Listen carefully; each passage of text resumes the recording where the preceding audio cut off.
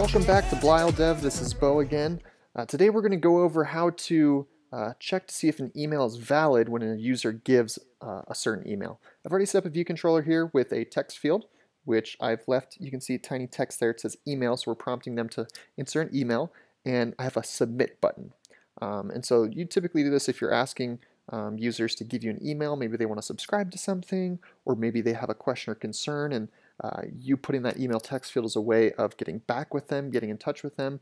Um, regardless of what it is, um, I'm going to show you guys how to check to make sure the email that they're putting in is actually a valid email, not just some random jargon.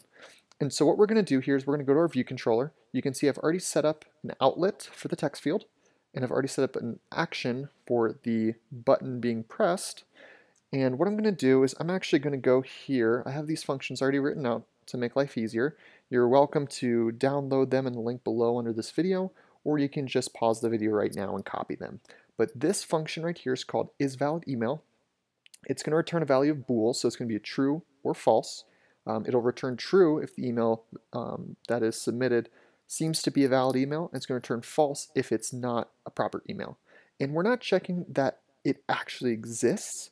We're just checking that the formatting of the email is correct. That, you know, it starts with something, um, some valid text. It has an at symbol after that, followed by some sort of text, plus a dot, plus some sort of text.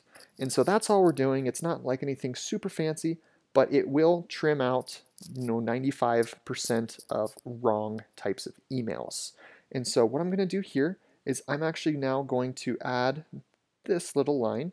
I'm going to add a let into my um, function button press. So when the button's pressed, I'm going to check to see the email.text, um, that text field. I'm going to compare it in this function. I'm going to see whether or not it's a valid email. And I'm, if it is, email, this value right here, is going to be set to true. If it's not, this value is going to be set to false. Now, if it's set to false, I do want to have an if statement to check for that. Because if it's false, I do not want to proceed. I want to prompt the user saying, hey, this is wrong, you need to redo it. And so what I'm going to do here is I'm going to go back here. I actually have another function for showing alerts, and I'm going to just use a simple alert in this function. Okay, and I'm going to say show alert. And by the way, if you're unfamiliar with what this is, show alert, it's just going to pop up an error message on the screen. Uh, I have another tutorial where I show you how to use that a little bit more thoroughly, um, but for our sake, I'm just going to go ahead and do this, and I'm just going to output error. And right here, I'm going to put this is not a valid email. Please try again. Get the spaces. And I also, once I show that alert, I also do want to erase whatever text the user has put into that text field so that they're prompted to do it again. So I'm actually going to say email text because that's the name of our uh, outlet that we're working with. So email text dot text is equal to nil. You know, there's nothing inside of the string. It's just an empty string. Alrighty. And so really simply what we're doing here, if it's not a valid email, it's going to return error. This is not a valid email, please try again. And it'll prompt them to do it again. And every time they press it, it's going to compare to see if the new email they entered is correct. And it's going to keep on doing that until they give a valid um, value. And so to show you guys how this is going to work, I'm going to open up the simulator uh, for iPhone 7 Plus. I'm going to pull that open here. And like I said, the show alert uh, function, I have another tutorial um, where I show you guys how to do that. If you have any questions, you can refer to that. If you have questions um, about specifics or about certain situations, or you have some code you'd like to show me, feel free to message me. I'd be happy to help. Okay, so let's look at our simulator.